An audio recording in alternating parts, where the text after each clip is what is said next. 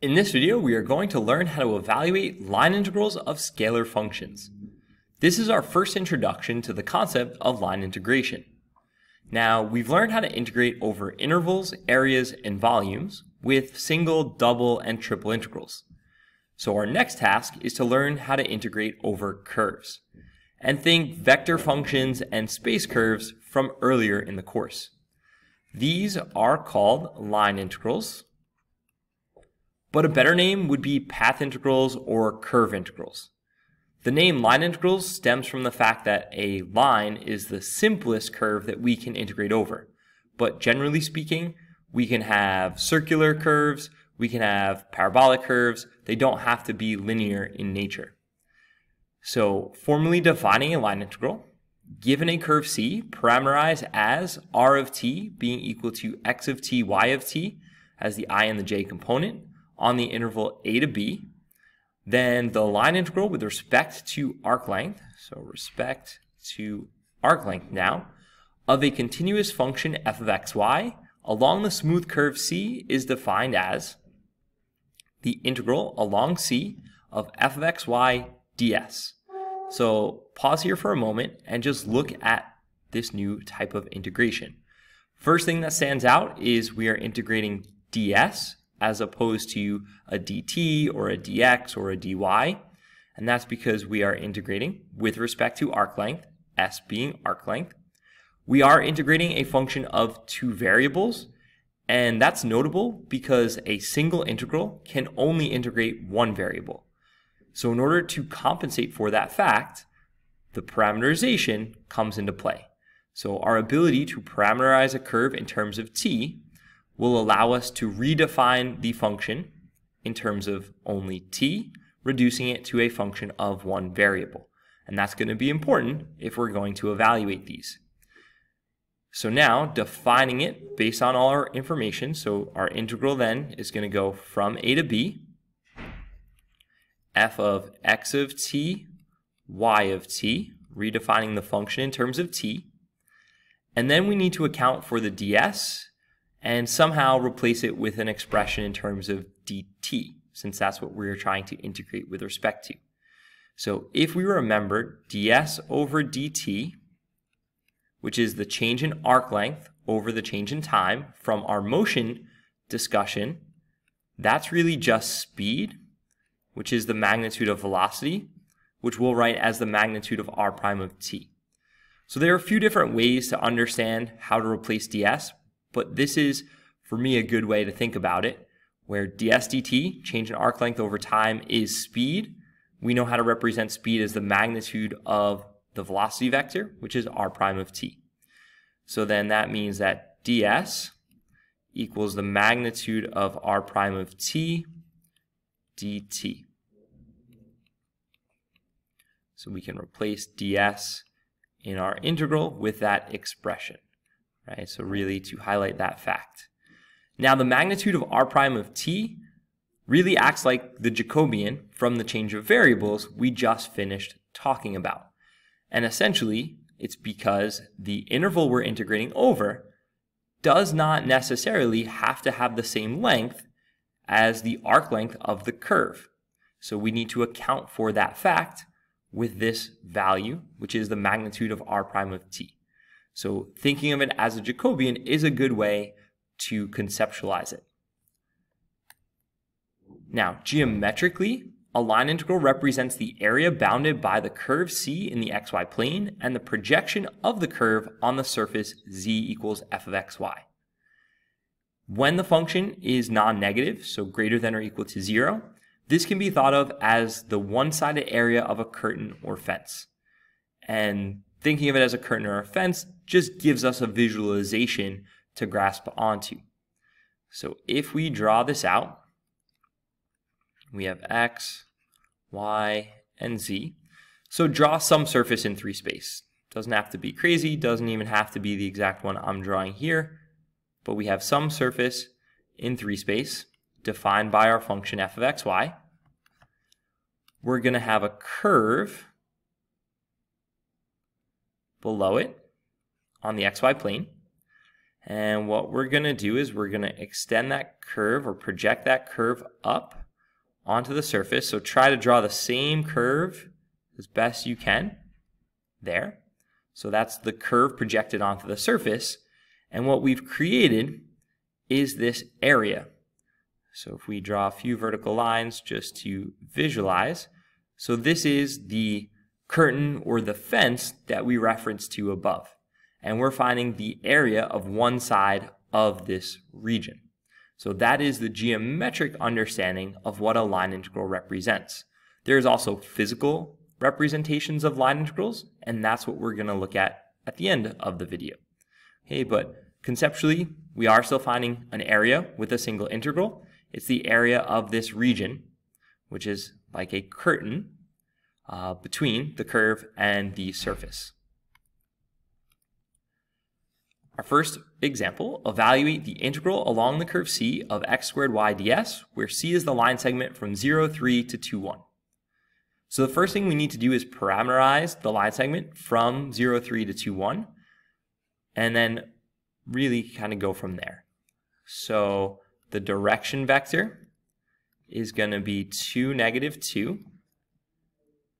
So then we could say x is 0 plus 2t y is 3 minus 2t. And we also want to include bounds on t. And that's going to be important because we're going to need bounds of integration. So when we're forming our parameterization, if we can include t-bounds, it's going to make it easier later on. So here, the 0.03 would happen when t equals 0, and the 0.21 would happen when t equals 1. You can plug into our parameterization to check. So we're going to say 0 to 1 is the bounds on t. So we can redefine this as a vector function. You can keep it parametric as well. It's really a matter of preference. But to keep with our definition, we'll define it as a vector function. So then r prime of t is going to be 2, negative 2. And the magnitude of r prime of t is the square root of 4 plus 4, square root of 8, which is 2 square root of 2. So this work here, we've established the parameterization. We found the magnitude of r prime of t, which we're going to need to replace the ds term. Now we can actually get into the integration part. So this is going to be the integral from 0 to 1 of x squared, so 2t squared y, which is 3 minus 2t. And then our ds is 2 squared root of 2 dt. And I'll just emphasize that fact there. So we can factor out the 2 squared root of 2, simplify inside, so 4t squared distributed, so 12t squared minus 8t cubed dt. And now we integrate. And compared to the integration that we have been doing, this is much simpler since it's only a single integral. So we get 2 square root of 2, 4t cubed minus 2t to the fourth. Evaluate that from 0 to 1. So we get 2 square root of 2, 4 minus 2. So we get 4 square root of 2 as the value of this first line integral of a scalar function. Next, evaluate the integral along the curve c of y e to the x ds, where c is the half circle x squared plus y squared equals 4, where y is greater than or equal to 0. So we don't necessarily need to draw this out, but drawing it out might help us figure out the bounds on t so we have the upper half of the circle of radius 2, and we want to define that parametrically. So that's going to require sine and cosine. So r of t, we could say x is 2 cosine t, y is 2 sine t. Think polar in a way, but now it's a fixed radius, right? The radius is 2 here, so 2 cos t, 2 sine t. If we want the upper half of the circle, well, the bound on t would be 0 to pi then. And then we're going to find r prime of t. So that's going to be negative 2 sine t to cosine t, the magnitude of r prime of t, square root of 4 sine squared t plus 4 cos squared t, which is really just the square root of 4, since sine squared plus cos squared is 1, which is just 2. Okay, so we have the integral from 0 to pi of y, which is 2 sine t, e to the x, which is 2 cosine t, and then 2 dt as our ds. Now, this is a good example to point out that value as a scalar of the interval. If you think of the arc length of half this circle, that would just be pi r or 2 pi. We're integrating over an interval of just pi, so we need a factor of 2 to make them equivalent. Right? So a good example to really show what that scale factor, and it doesn't have to be a scalar, but that scale factor is doing. All right, so we can integrate this. Underline 2 cosine t, that would be our u in a formal u substitution. The derivative would be negative 2 sine t. So negative, and then we could either divide by negative 1 or just put a negative 1 in front of the integral. Either way works. Circle the negative 2 sine t. That would be your du. So we're going to get negative 2 e to the 2 cosine t and evaluate that from 0 to pi. So we're going to get negative 2 e cosine of pi is negative 1, so to the negative second, and then plus 2 e cosine of 0 is 1, so e squared. And just rewriting this, so we'd have 2e squared minus 2 over e squared as the value here. But this example is nice to show what that magnitude of r prime of t is doing when we set up our integral. The next question we have to answer is about the parameterization. Could we parameterize the curve in the previous example differently and would it affect our answer? Because that's important. If we're coming up with a parameterization on our own, then different students might create different parameterizations and it's important for us to know if we would expect to get the same answer. So use the parameterization below and reevaluate the previous integral. So now our parameterization is negative 2 cosine of 2t, 2 sine of 2t. So first thing, the 2t inside means that we're going to cover the curve faster. Notice the bounds on t only go from 0 to pi over 2 now. And the negative on that x component, we're going to start at a different point on the curve. So we'd actually start at negative 2, 0 as opposed to 2, 0. So repeating our process, our prime of t is going to be chain rule here. So 4 sine of 2t, and then 4 cosine of 2t. Magnitude of r prime of t is going to be 4. Skipping writing everything out, right? We have square root of 16 sine squared plus 16 cos squared. Square root of 16 is 4. So then we can set up our integral from 0 to pi over 2. And now it's 2 sine of 2t e to the negative 2 cosine of 2t. Then times that factor of 4 dt. Okay, so now we can integrate. Negative 2 cosine of 2t would be our u. The derivative would be 4 sine of 2t so we need an extra factor of 2 over here. Circle the 4 sine of 2t. 1 half times 4 is 2. So 2e to the negative 2 cosine of 2t. And evaluate that from 0 to pi over 2. So we have 2. Cosine of pi is negative 1, so e squared. And then minus 2. Cosine of 0 is 1 e to the negative second, so over e squared, and we get the same exact answer. So that's an important result. So let's formalize it on the next slide. Line integrals with respect to arc length are independent of parameterization. As long as the curve C is traced out only once, as t increases from a to b, and this means that the value of the line integral will be the same as long as we choose a correct parameterization. And that's important. Yes, we can pick whatever parameterization we want, but it still has to be correct, right? If we tried to parameterize half of a circle as t comma 1 plus t, right, it's not going to work because that parameterization doesn't actually give us the points on the curve. But this is a nice result, means that we can create our own parameterization. If we go back to the first example with the line, the line segment, if we halved our direction vector, and then we said t goes from 0 to 2, right, we would account for that in the interval, we would still get the same answer, right? So line integrals with respect to arc length of scalar functions are independent of parameterization.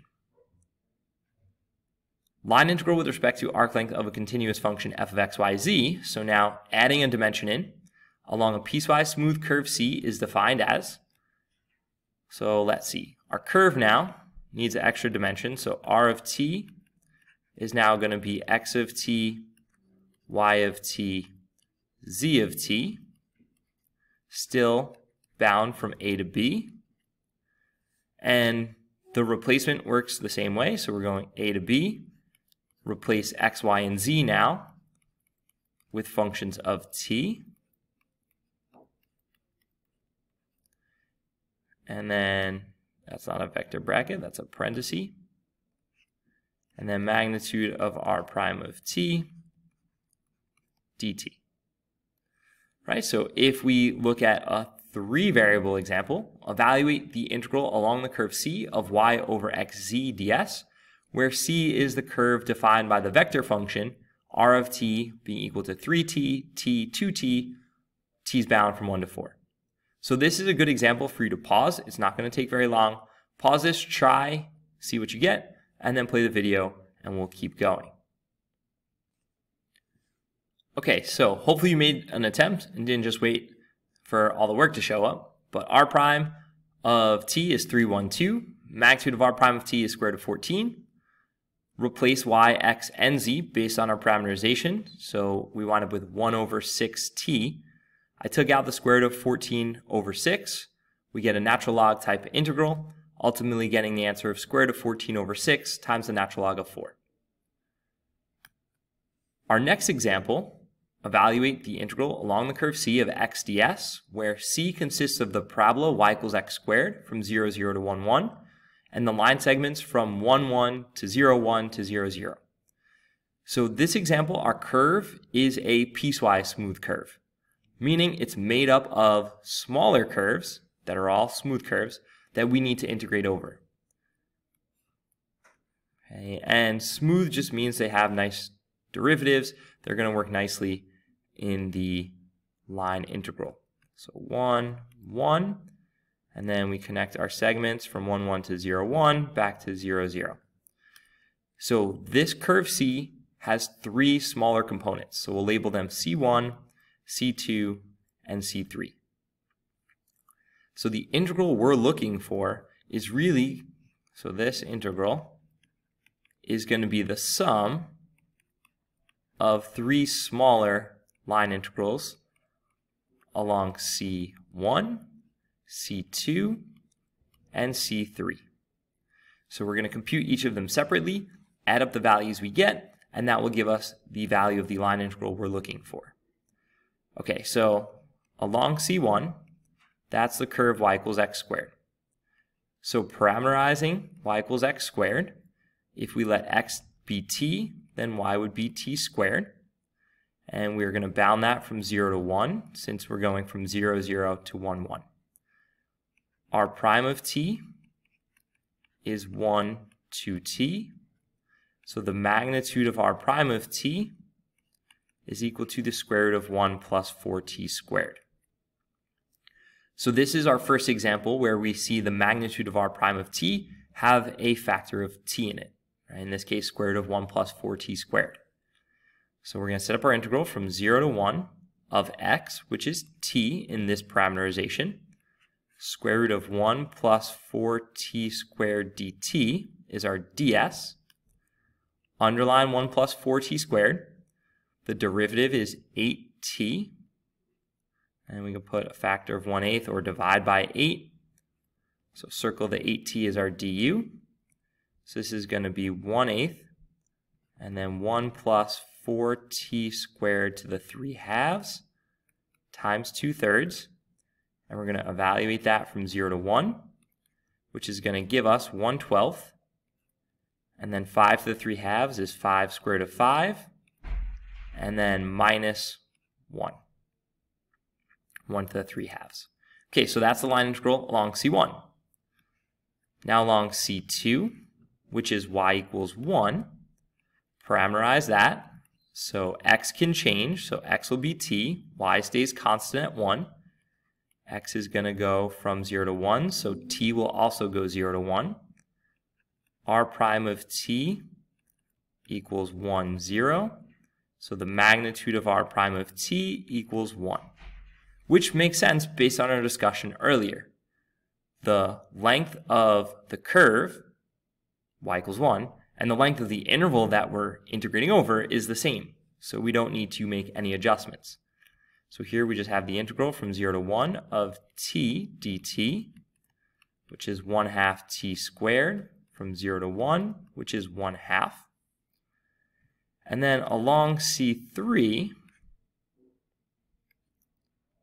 here, that's x equals 0.